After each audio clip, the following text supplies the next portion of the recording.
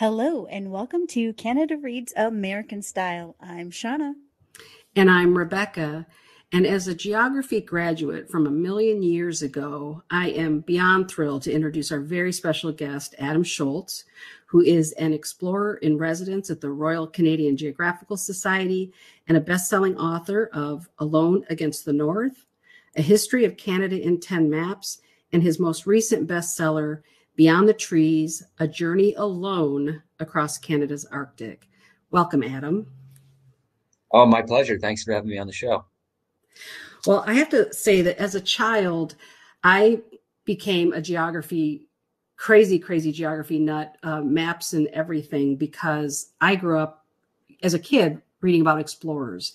So the opportunity for us to talk to you, a real live explorer in modern day, is just kind of blows my mind. And I'm so thrilled to have you here today. So my first question for you though is what traits do explorers have that the average person does not in what makes you different from the rest of us?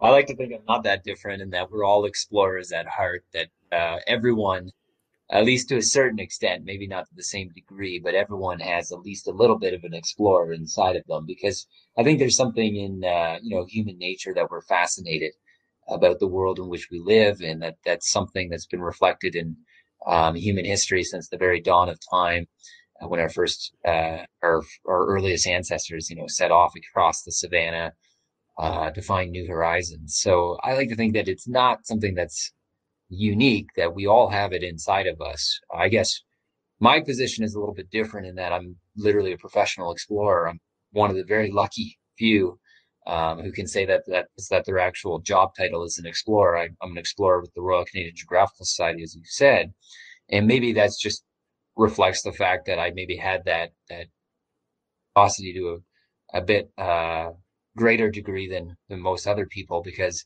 basically that's what drives me out in the wilderness. It's this um, longing to know uh, more about what's beyond the river bend or, you know, in the deepest depths of the forest or on the other side of the hill or beyond the mountain.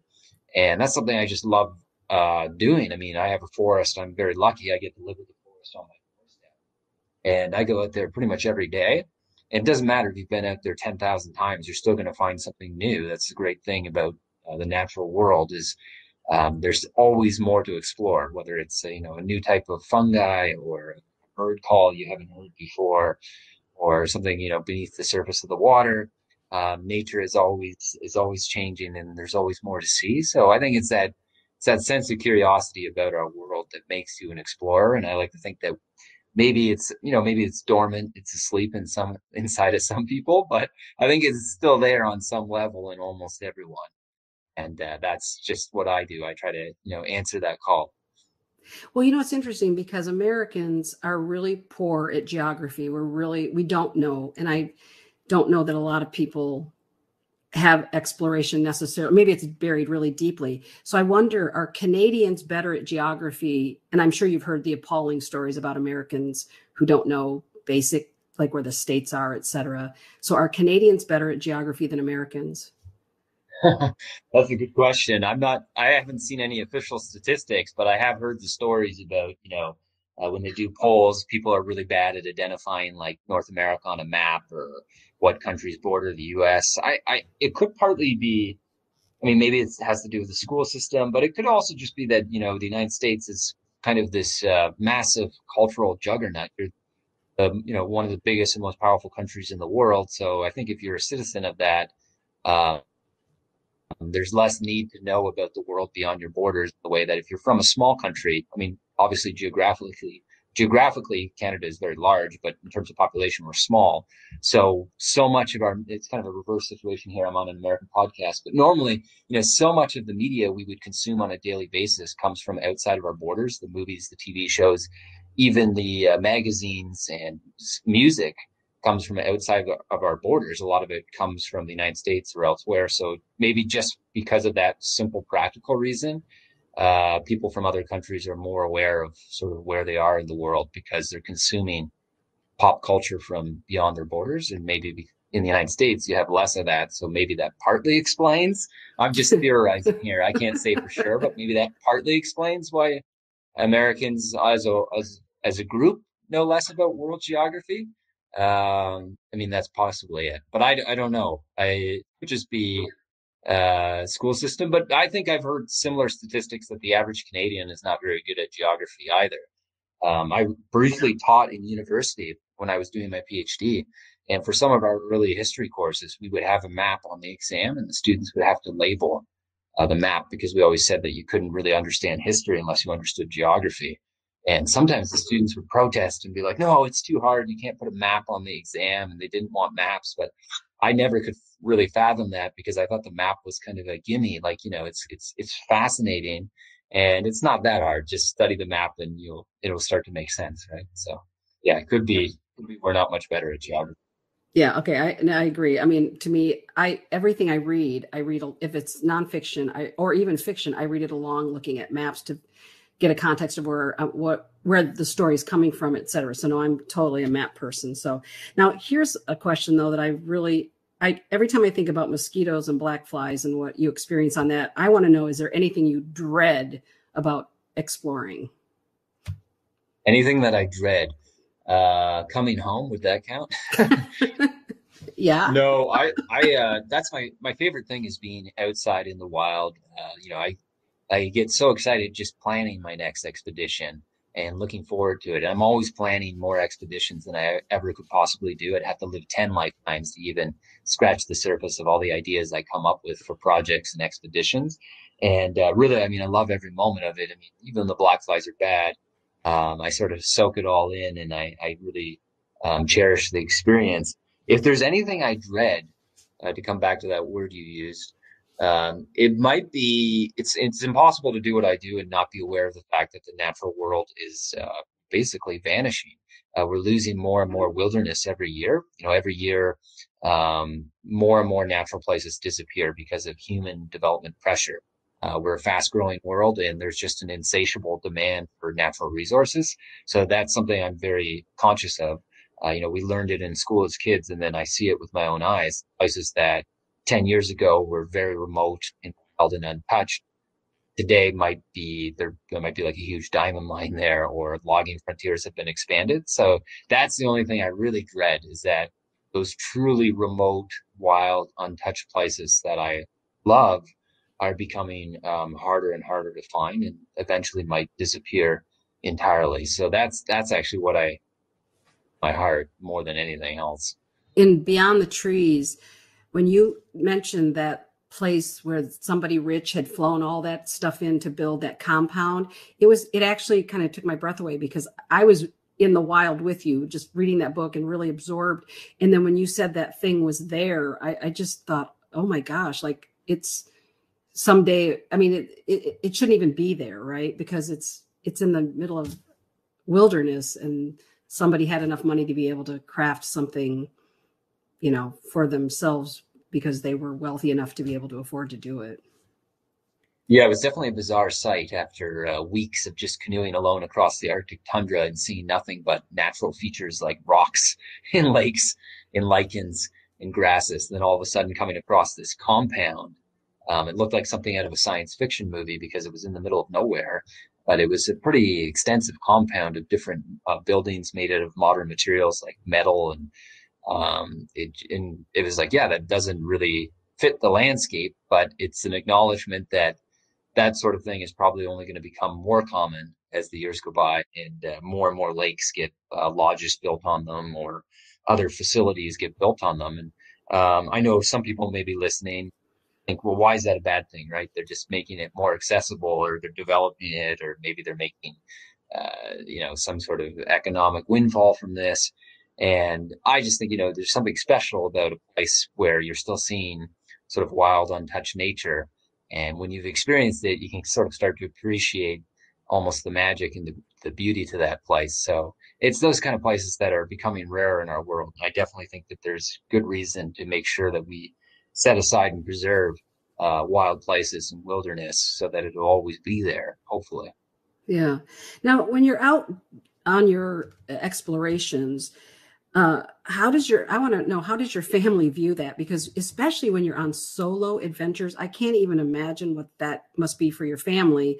And and are you able to be in touch with them? I know you had a satellite phone uh, in beyond the trees but that it was very expensive obviously to use. But i'm just wondering is there is there some form of communication that your family has with you when you're out there alone?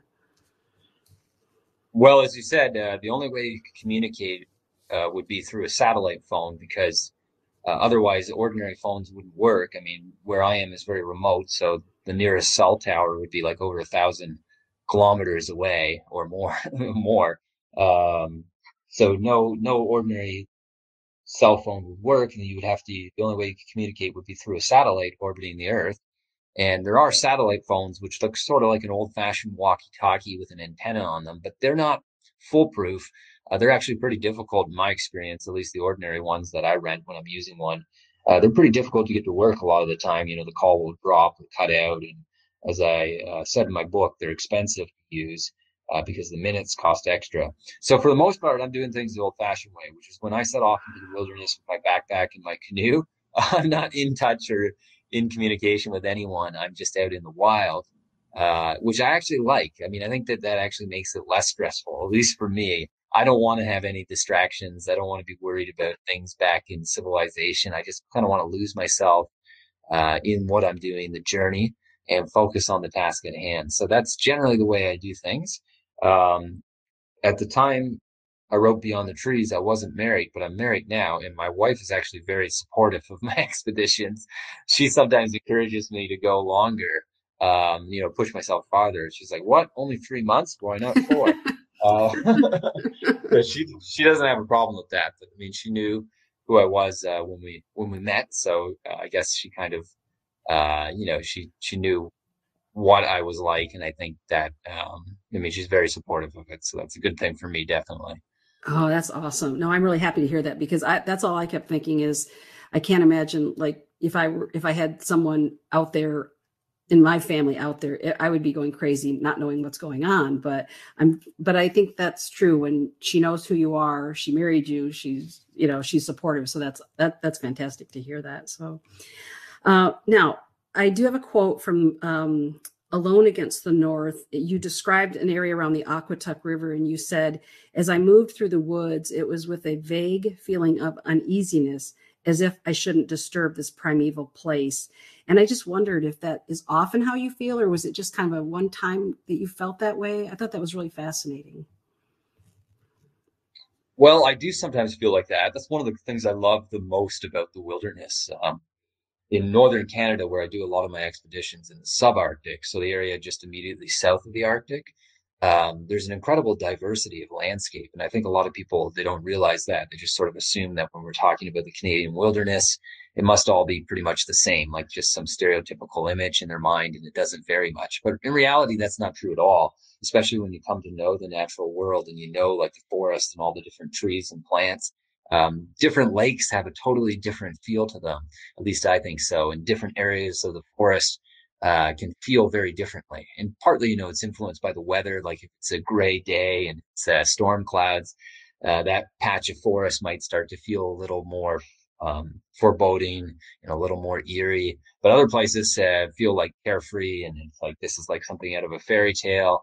And definitely, I've been lucky enough that I've experienced different places on my journey um, that really have a powerful uh, feel to them. And the one that you're alluding to in, in Alone Against the North there, that place was one of the most um, pristine, untouched places I've ever been to. Like, you know, not at all like if you go to a, a national park or something and you find a pop can or a well marked trail with signage up everywhere. We're talking about a place that was old growth forest uh, in the subarctic. So you're talking about trees that are up to 400 years old, black spruce, but they're very small, about the size of your wrist uh, because the conditions are so harsh that the growing season is very, very slow. And it takes centuries for a tree just to grow to like what would be a sapling in Michigan. And, uh, you know, just a world of moss. Moss cloaks and covers everything from the branches of the trees to the floor or the, the ground beneath your feet. And it had this, it had this sort of, um, ancient, untouched feel to it, like something out of a legend or a fairy tale. And I felt like, you know, I have to tread very lightly here. I barely want to put my foot down, uh, lest I step on a wild flower or some mushroom and disturb this place because it just seems so perfect. And I didn't really want to disturb it in any way. So I try to tread as lightly as I can uh, whenever I'm in these places. Like my motto has always been, um, you know, take only memories, leave only footprint. And sometimes I don't even want to leave the footprint. So I'm, I'm almost tiptoeing around uh, some of these special places. Well, and I think that's what I learned because I I don't know I didn't really know specifically what northern that part of northern Canada would look like, and it's interesting because through your book and all the descriptions that you gave of the landscape that was so helpful to me. And then i started looking at photographs. I started looking on instagram and and looking at different places so that i could get a better sense of it too visually from rather than just from the book. But yeah, that was really a, kind of surprising to me because that's not kind of what i expected now in saying all of that i wonder then do you have a preferred landscape like if you if they told you you could only go to one landscape to explore? Do you have like a preferred one? And season wise, would it be like winter or what? What would that be? Well, that that's a hard choice because I love uh, all the different Canadian landscapes. So definitely, I would say within Canada, I don't have as much desire to explore uh, other environments around the world like deserts or jungles. But I love all the different areas of Canada's uh, wilderness, and Canada is pretty diverse. I mean, a lot of people don't realize that, but we have you know, everything from temperate rainforest to northern deserts that look like the Sahara, nothing but miles and miles of sand and sand dunes, um, to boreal forest, which is mostly coniferous trees, black spruce, tamarack, uh, to we have a forest in southern Ontario that's actually called Carolinian forest because it's not that different than what you would see in North Carolina uh, with broadleaf trees like sassafras. Um, so I love all those different Canadian landscapes uh, if I only could, if I had to pick just one, uh, my favorite, as I sort of alluded to in the previous question, is the subarctic. That's my favorite place to be. I love the Arctic too. I mean, wandering around the Arctic tundra in the summer is a lot of fun. Not so much in the winter, but in the summer, I like the Arctic tundra. But that boreal forest is the landscape where I feel most at home. I use a, a an expression that it feels like home ice to me. to use a hockey metaphor. Yeah. Um, that's that's where I feel most I just love the moss and the lichens, the wild mushrooms, the plants, uh, the trees. There's something about the trees that grow there. You have birch and cedar and uh, black spruce, white spruce, tamarack. Has a really familiar feel to me. Even the scent, like the uh, the smell of the forest, uh, makes me feel at home. And I love that landscape probably the most of all. So that's the landscape I deal with in Alone Against the North.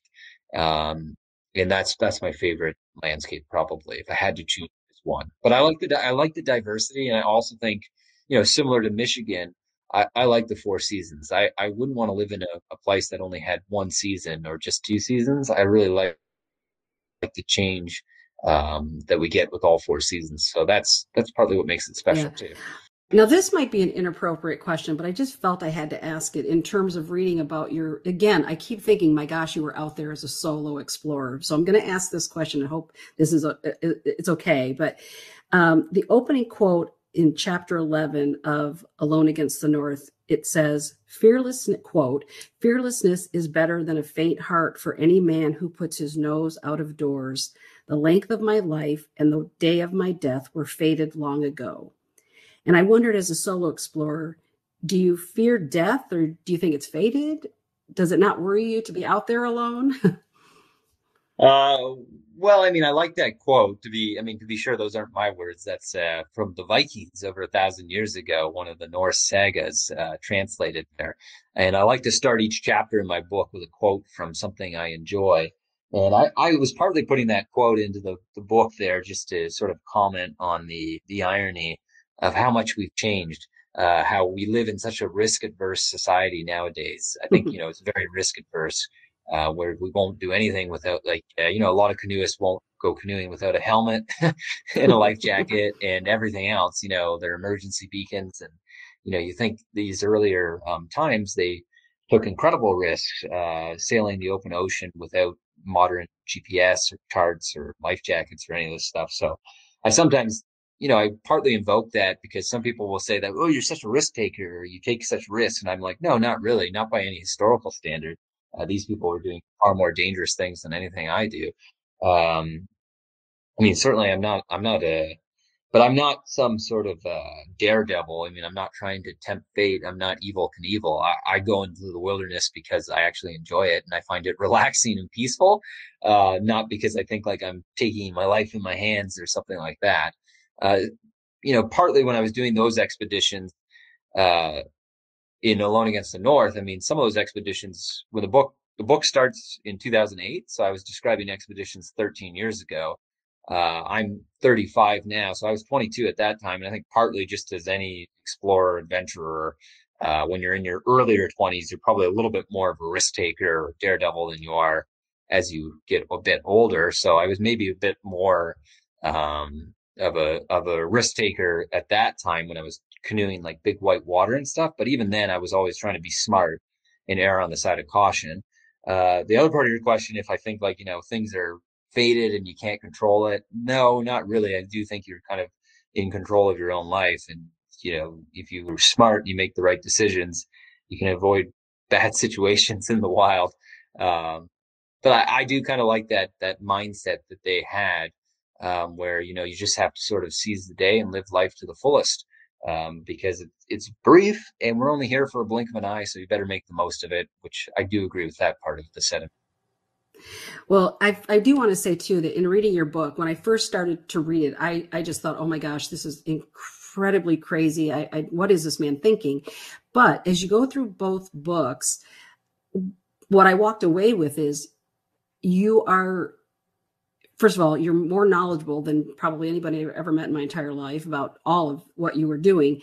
Plus, you're taking calculated risks, but you weren't. I agree. You're not a daredevil. You're not out there because I read a lot of books about like mountain climbers and some of those people that do solo climbs that are crazy. And I just think, what is in their head?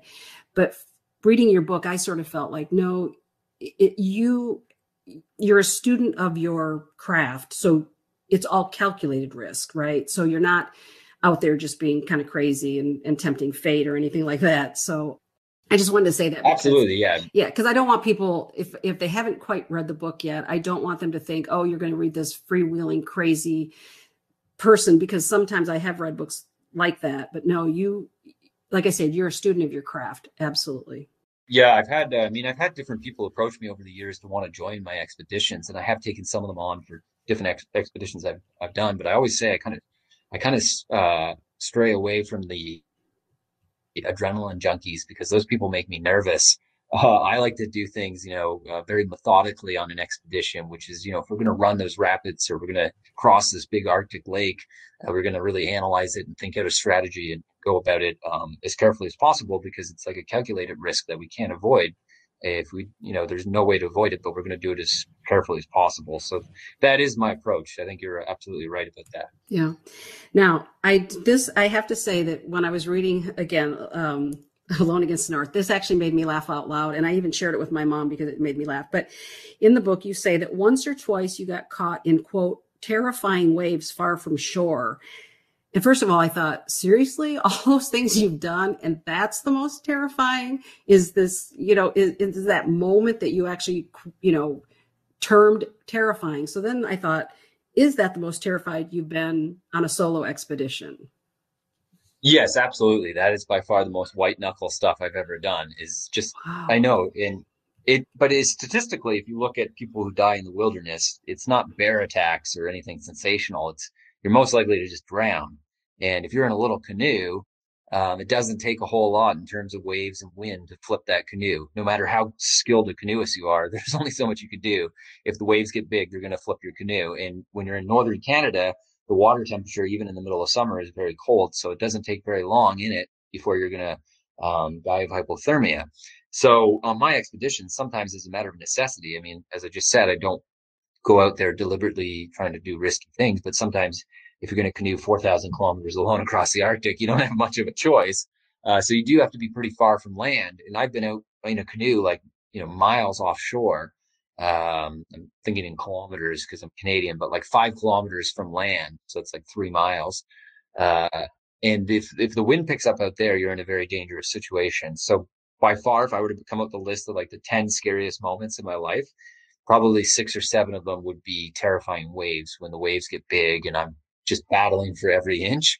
And it's stressful because you, eh, you mean you could, you could uh, angle your canoe into the big wave or a hundred times correctly, but it wouldn't matter because all it takes is one wave uh, to, to spell disaster. So you have to get each wave right, and you have thousands of waves to get through before you get back to land. So those are definitely my most stressful moments um, because if you did get into the water really far offshore, uh, your odds the odds are not good um, because you know your body is just going to start to shut down. You're going to lose feeling in your your your extremities first, and then that's going to go up your arms, and then eventually all the way to your core.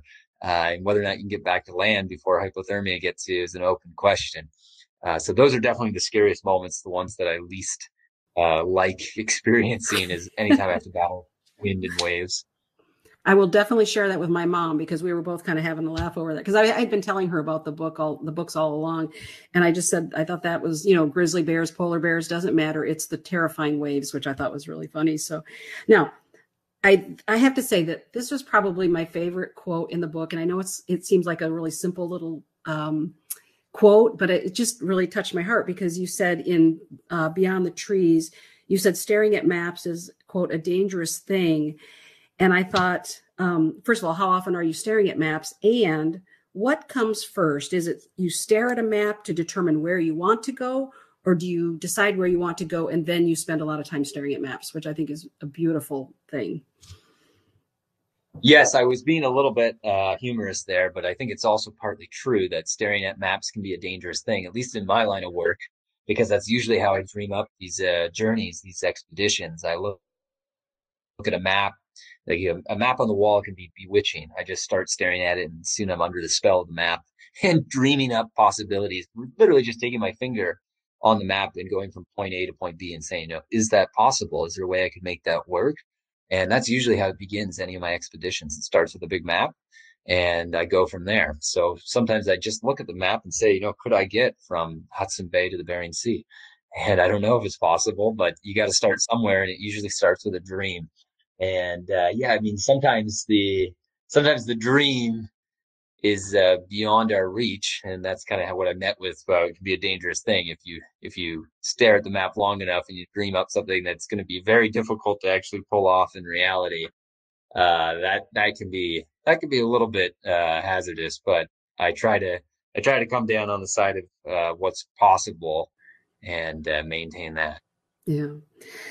Now you mentioned and I was happy to to read this part of the book as well. Again, in uh, Beyond the Trees, you mentioned that as part of your academic research, you studied bear attacks, and I wondered if that's why you seem a bit unconcerned about bears, even though you've had a few scary incidents. Because before I read that part, I kept thinking, I can't believe you're out in bear country, sometimes without bear spray, sometimes without the proper whatever you think you need, and then I read that part and I was like, okay, so you're pretty schooled on bears, right?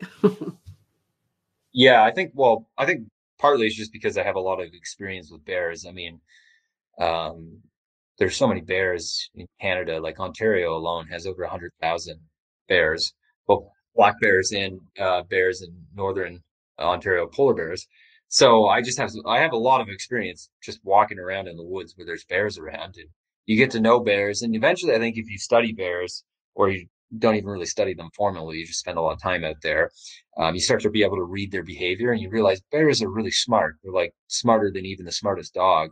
Uh, and just like dogs, they have different personalities. Like some dogs are playful, others are a little more tense and standoffish. You can start to read the bear's behavior, uh, just like some people can read horses and then you realize like well you know most of the bears they're not really they're not really a threat. They don't really want any trouble and most of the time they're more afraid of us than we are of them and you can usually frighten them off pretty easily uh, just by making noise. So like where i live in northern ontario um, i used to, i just used to like go out every day of the week walking in the woods around my house with just a little walking stick and it wasn't uncommon that i'd cross paths with like a black bear or something and almost all the time i would just make a, a noise and or didn't. Sometimes I just stare there and look at the bear, and it wouldn't cause any trouble, which makes sense. Like, I guess that's the academic side of things. Like statistically, the odds of a bear actually attacking you are very low, and I think partly it's just we tend to fear what we're not familiar with. So if you're used to walking around with bears around you, eventually, even though it's not like they can't kill you, I mean, they are powerful, and if they choose to kill you, they probably could. But the odds of that happening are so low that eventually you just you kind of become numb to it because you're familiar with them, and you don't really think about it. Same way that you know uh, people people don't really fear what they're what they're used to. They fear things like you know someone might be like, "Well, I would never go to Michigan. I could get mugged there." That's what a lot of Canadians say about the U.S. Right? A lot of Canadians have views that the U.S. is this crazy, dangerous place where someone might gun you down. Um, so we get nervous, like, "Oh, I'm, I'm worried about going to the U.S. or Michigan across the border." But I'm sure talking to you, you'd be like, "That's kind of silly, right? Why would you think like that?" But if you're not familiar with it, you could let those irrational fears start to eat away at you. Uh, that's that's basically how I look at it. Yeah, that's probably true. But but but doesn't a grizzly or a polar bear have a different feel to than the bears you kind of grew up around in northern Ontario? I mean, because you can't like you don't even you you do you did you feel fear when you saw when you see have seen grizzlies or a polar bear? Well, it depends. Polar bears well, it depends. I mean, I've come across polar bears that were really shy and ran away as soon as they saw me, but others are like much more aggressive. And I talk about having a polar bear come straight at me and growl at me. And that's definitely scary, right? There's no no two ways about it. It's scary when you have a thousand pound polar bear at the top of the food chain coming straight at you.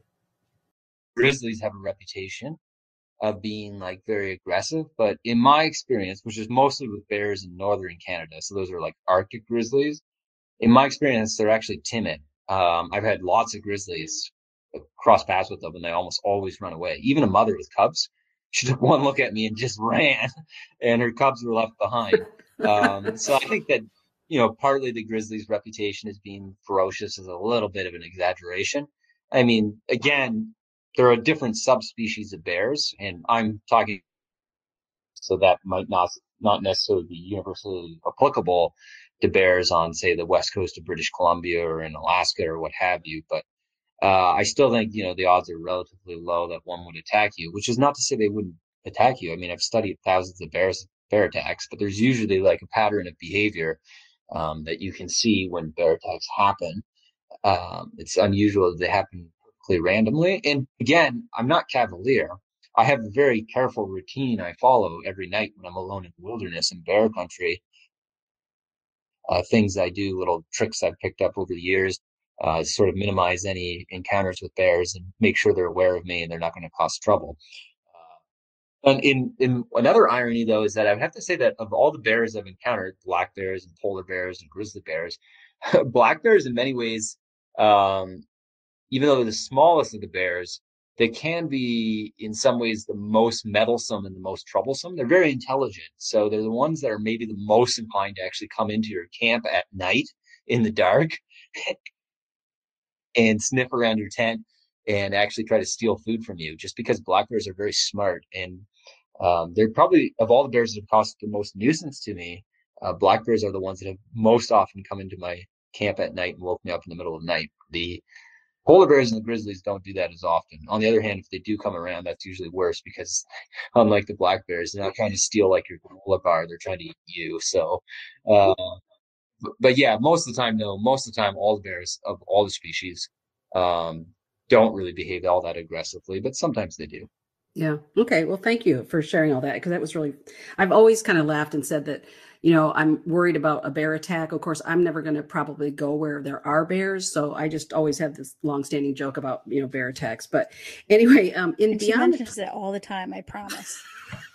it, I mean, it is a real thing. I don't want I don't want some of your listeners to think like, oh, he's some sort of like foolish, naive person who doesn't understand the danger. I mean, as you know from my books, I give lots of examples of like graphic bear attacks in all of the books. So it can't happen, but we don't want to oversell yeah. it or exaggerate the the uh, the odds of a bear attacking you. I guess a good analogy would be dog attacks. Like if you actually look up the statistics, a surprising number of people either end up in the hospital or even dead from dog attacks. But on a day to day basis, we don't really worry about some dog coming out and attacking us, even though it really does happen, right? Like there are hundreds of dog attacks every year in the US. Um, but it's not something we would fear on a day to day basis uh, because we know most dogs aren't going to do that. And that's just sort of how I look at it with the bears. Um, the risk is there, but it's relatively small. Okay, so in Beyond the Trees, which is your journey across uh, Canada's Arctic uh, region, I was just curious. This was just simply my curiosity was what percentage of your of that trip do you think you walked versus canoed because you were portaging a lot, and so I was just curious if you had any idea of like percentage wise what was on foot and what was on canoe. Oh, well, I did work that out at one point when I was writing the book, uh, which was four years ago now. Um, I think it was so the, the vast majority of the distance was by water, so canoeing, but that's not necessarily the same thing as the vast majority of the time because, of course, walking or portaging takes vastly longer uh, because I had to make four loads with all of my different um, backpacks and things. Uh, so I think in terms of distance, in terms of distance of my no, almost 4,000 kilometer route on foot was probably around 500 kilometers. Oh. Um, so that's that's like one eighth, right? So the seventh, eighth of the time I was in the water, um, in terms of distance, but in terms of actual time, that's not quite the case because portaging when I'm on foot takes vastly longer than paddling, right? Uh, I might spend an entire day portaging just three kilometers because I have to backtrack, you know, back and forth for each load, right? Like go forward with the backpack on three kilometers, set it down, go back without my load to get the next load. So that's six kilometers, just doubling back. Uh, get the next load, carry it forward. So now we're at nine kilometers, set it down, go back. Now we're at 12 kilometers, get the, the second barrel, bring it back 15 kilometers, set it down, go back 18 kilometers. And last but not least, grab my canoe, which weighs, you know, 55 pounds or so and drag that three kilometers. So we're talking 21 kilometers just to move three kilometers on the map when I'm traveling on foot. Um, so that could take a whole day Whereas the next day, if I'm on the water, I might paddle 100 kilometers and do that all in like 12 hours. So uh, that's why I would say, yeah, about 500 kilometers or so on foot. But time wise, a much greater percentage of my journey, I'm moving around on foot. Okay, I love just knowing that. So that's actually kind of cool. Thanks for answering that, or thanks for actually having an answer uh, for that. That's awesome. And then I was curious because you mentioned a few times, obviously, that you have that you journal and you're writing and drawing in your journal. And I was curious if you know how many journals you've written and if they will one day be in an archive for future generations. It's funny you should ask that. I have a massive stack of, of journals uh, from all the adventures and expeditions I've done, um, going back to when I was a teenager. Uh, and the vast majority I've never written about or said anything about. I've only you know, only a few of my expeditions have I actually publicized. The rest are just locked away in my archive of, of journals and notes. Uh, I don't know what would happen to them after maybe I die. Like maybe, maybe that someone will laugh and snicker because like, yep, this summer he gets eaten by a grizzly. He shouldn't have said that. Knock, knock on wood. Uh, and then maybe, yeah, maybe, maybe they'll get donated to the local uh, university or the archive and somebody can dig through them. Probably my books would sell a lot better if I did get eaten. that seems to be a thing. Yeah, so, yeah, don't do that. Yeah, don't do uh, that. for the time being, yeah, for the time being, those are just unpublished journals that I've kept from my different expeditions. But when I do write books, I use the journal um, to form the basis of the book, and I try to keep as detailed notes as possible in the field for that reason. Well, it's interesting because I think when you were in Alone Against the North and you talked about the Again River and how you were trying to find any kind of documentation about this river, think about how important all of those journals are. And I just having, I, I, when I was a student, a library student, I worked in the archives in Detroit. And I have to just say that being able to go back and look at different people's uh, written records and, and even things like receipts of things they purchased, all of those records you know, go together nicely in an archive. And I guarantee you, all of what you have is so valuable.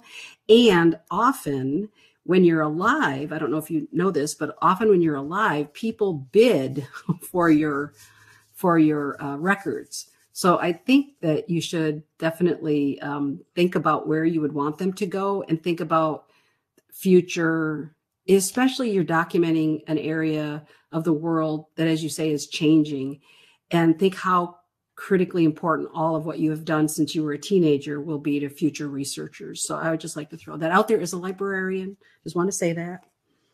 Uh, well, I always say, you know, li- libraries were my second favorite place growing up after the woods. If I wasn't in the woods, I was in the library exploring books. So I'll keep that in mind. I think I have to do a few more expeditions before uh before they would want my journals. So I'll try to set the bar high and keep doing them so that I get more journals in libraries. All right, sounds good. Sounds good. Now, um, this, and I don't even know if this is if you'd even have an answer for this one, but I'm curious if there's anything that scares you enough that you wouldn't attempt it anything that scares you enough that you would not attempt it? Well, I mean, yes, definitely. I can think.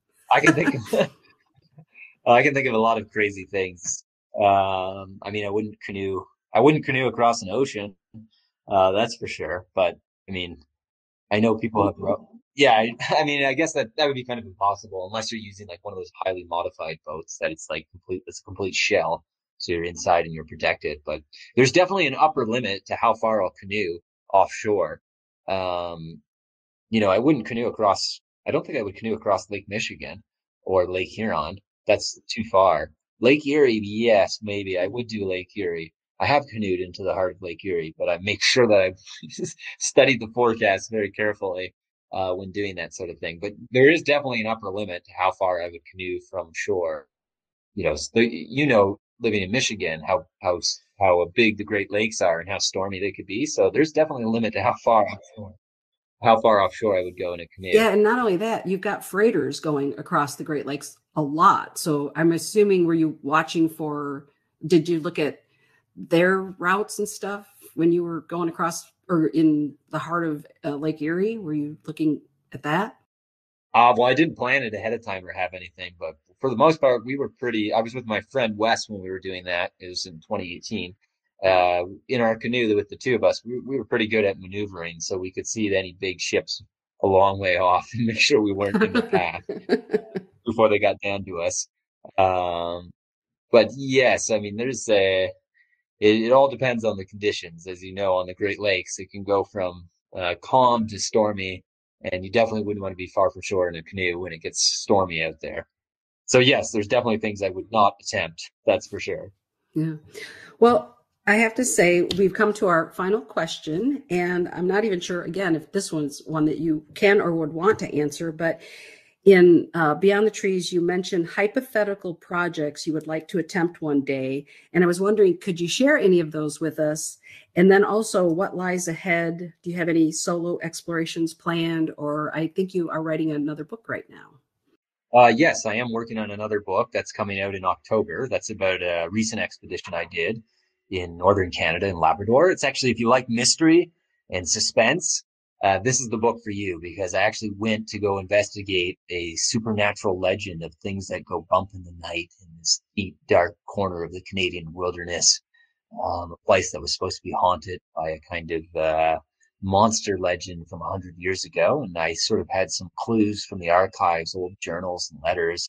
And I tried to piece it together and tell the story of retracing this route. Um, so if you like spooky stuff and Halloween, this is definitely the book for you. It's coming out in October this year. Uh, maybe maybe after it comes out, you'll want yes. to have me back on the show and we can discuss Absolutely, it. Absolutely, yes. uh, in, in, terms of expeditions, sounds good to me. Then, uh, in terms of expeditions, I have I think three planned for this year. And I'm definitely doing a lot more uh, for the Royal Canadian Geographical Society. Everything under the sun, from epic journeys to expeditions about um, looking for endangered species, uh, to more archaeology-based ones where we're looking for like the lost explorer and that kind of stuff. So I have a lot of that going on. People are curious about it. They can find me on Instagram or Facebook or just check out my website, and I'll have updates on all those projects soon. Well, yeah, we absolutely will link to everything uh, in this podcast and. I just want to say, Adam, thank you so much for uh, chatting with us today. This is a dream come true. I love authors, but I somebody who's an explorer, as I said, as a kid, I loved explorers so much. And just to have a moment with a modern day explorer is just the highlight of my life right now as a geography and a ge- geographer and as a librarian. I just have so enjoyed it. Thank you so much. My pleasure. Thank you.